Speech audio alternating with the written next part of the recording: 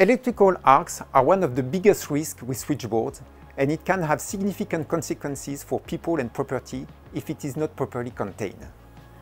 An arc flash fault is an electrical phenomenon that occurs when two conductors are accidentally in contact.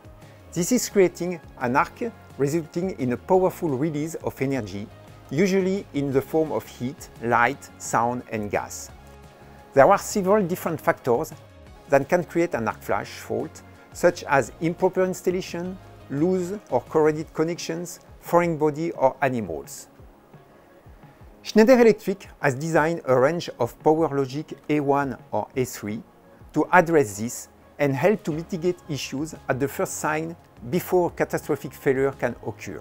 With PowerLogic R125 installed in PrismaSeT, it will significantly reduce the effect of an arc thanks to an earlier detection. The light sensors will detect the arc at very early stage and the main unit will send a tripping signal to the main circuit breaker to eliminate the arc. The duration and the energy of the arc will be significantly reduced and by the way, the damage of the cubicle. For an even faster response, an arc quenching system can be added to the system. If an internal arc fault occurs inside the panel, it will be immediately get transferred in a dedicated quenching device.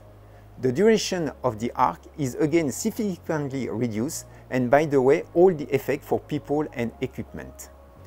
To know more and understand how the active internal arc fault mitigation system for PrismaSet, have a look at the, our new design guide, link at the end of this video.